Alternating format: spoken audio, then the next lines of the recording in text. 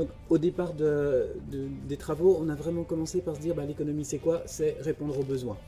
Donc, le truc, c'est pas une question de, de finances, d'argent avant tout, c'est avant tout répondre aux besoins.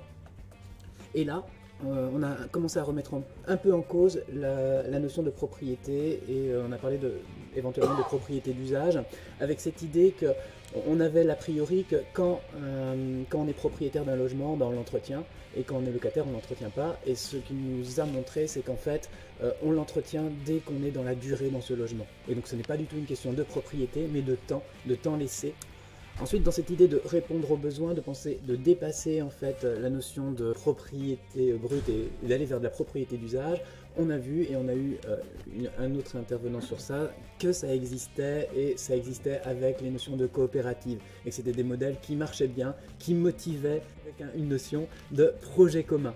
Et c'était ça qui, qui ressortait vraiment. Et bien tout ça, ça peut se fédérer autour des monnaies locales. Une monnaie locale, ça va être un certain nombre seulement de personnes qui vont échanger. Donc soit euh, parce qu'elles euh, font partie de cette association, soit parce qu'elles font partie d'un territoire, mais c'est un nombre limité de personnes. C'est-à-dire que c'est un projet commun à des personnes. Et du coup, à l'intérieur de ces modèles locales, ça veut dire forcément une gouvernance un peu différente qui va vraiment prendre en compte ces personnes. Et en fait, ce sont ces personnes qui doivent diriger cette, cette monnaie. Sinon, on n'est plus sur une monnaie locale complémentaire. À l'intérieur de ça, on ne va pas pouvoir acheter n'importe quoi. On va forcément, cet ensemble de personnes doit choisir absolument quels sont les prestataires, quels sont les gens avec qui ils veulent travailler. Donc du coup, on, retrouve la notion de projet. et là, dans cette notion de projet, on va pouvoir retrouver en fait le fait d'être euh, d'aller vers une économie plus vertueuse. On peut tout à fait choisir seulement des, des, structures coopératives, si on a une monnaie locale sur ça, seulement des structures éventuellement bio, si on est sur, les cantons, mais tout est ouvert. On peut vraiment imaginer tout, c'est vraiment le collectif qui va décider.